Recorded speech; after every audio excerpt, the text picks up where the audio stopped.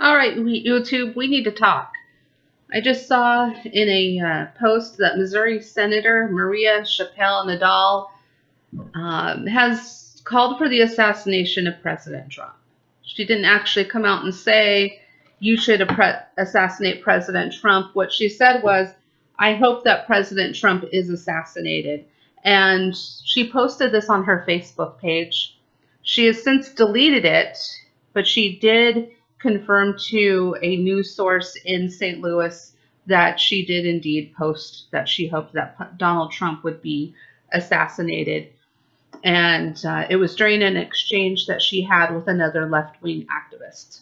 By the way, instead of saying left wing or liberal, why don't we just call them Bolsheviks from now on? See if they understand what that means. Um, but I'm glad to see that the Missouri, uh, the Missouri state chair or the Missouri chairman of the Democratic Party actually denounced what she said. He called it indefensible, which it is.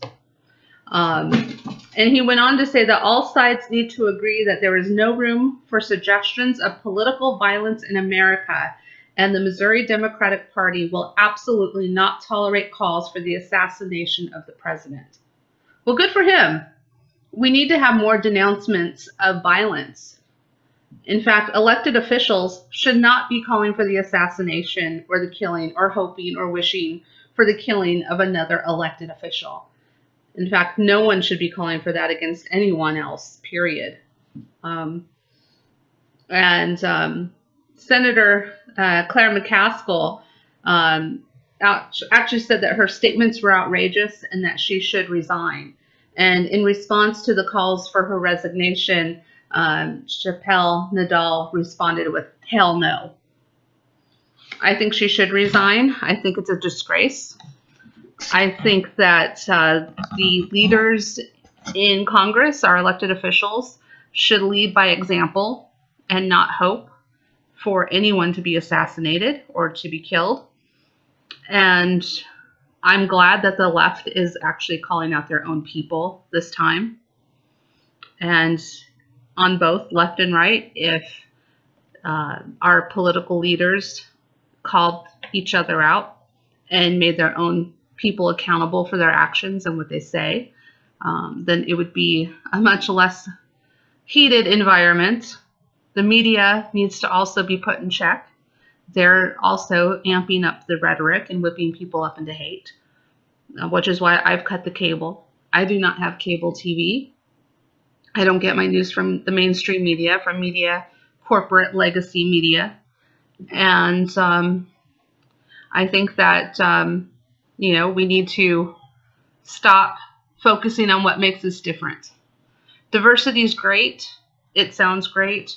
We are a, a country of many people, many colors, many likes, many dislikes. And those differences are beautiful, but we cannot allow people to separate us because of those differences. We need to celebrate those differences. We need to look to each other and see that everyone is beautiful, and not be divided by race, by gender, by religion. We need to stop it with that.